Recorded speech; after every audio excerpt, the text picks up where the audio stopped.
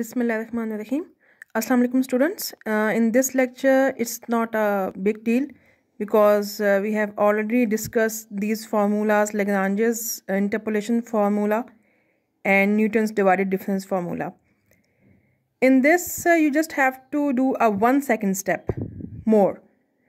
Uh, these two formulas are typically valid for unequally spaced data and in this what we have to do that First, we will talk about the Lagrange's one. And you know that the polynomial would be of this form L naught, Y naught plus L1, Y1 and up to so on Ln, Yn. This depends upon the number of the points that have been given to you. If they have mentioned that you have to uh, form a polynomial of degree 2 or 1, then of course it's already given mentioned in the question but if it is not mentioned in the question, then you will see that how many points you have been given. Because the number will start from 0.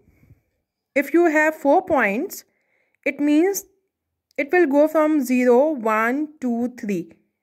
It would be a polynomial of degree 3 then. Right? And if you have 3 points, it means 0, 1, 2. It would be a polynomial of degree 2. This is the case when it's not mentioned right? Don't go in this detail because what you have to do you just have to form a polynomial. And when you form a polynomial then in the end you just have to take its derivative. And that's it. Okay come to the example. This is your example. And you have to find the first and second derivative of Lagrange's interpolation uh, polynomial of degree 3 at this point for the following question right? You can see this is of course an uh, unequally spaced data. This is the previous example that we have already done. First of all what you have to do you have to find a polynomial of degree. They have uh, already mentioned it.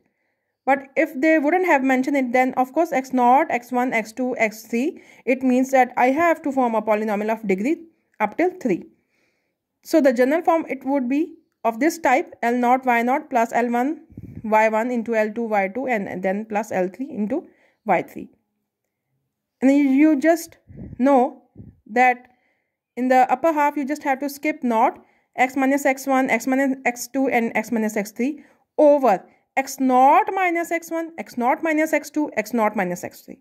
Similarly for L1 you have to skip x1. What it would be?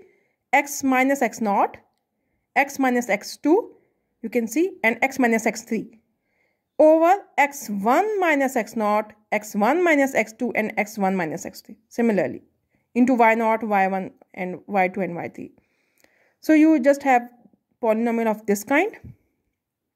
Now you just have to take its derivative. If they are demanding first and second derivative this is the required polynomial. You just have to take the first derivative and put the value because they are uh, uh, asking you to interpolate at this point.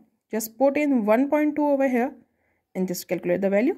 Similarly you can take the second derivative. Just put in the value and simply calculate its answer. Like up till here you have already done this kind of work when I was talking about the interpolation formulas right for unequally spaced data. Now if you have a polynomial you just have to take first second or third derivative and just put in the value. This is a one or two second step right? These are the questions that you have to do. Question number four from chapter number four. And similarly i'm not going in the details. This is the differentiation formula based on the newton's divided difference. The polynomial would be of this form. I have already made it clear. X minus x naught mm, and uh, you had this x minus x naught into x minus x1 this product. Of course this would make a polynomial. And when you have its polynomial a general polynomial it would be a function of x. Then whatever its derivative is required just take the derivative put in a point and you can easily interpolate the derivatives. So the questions that are related you can uh, simply do those right?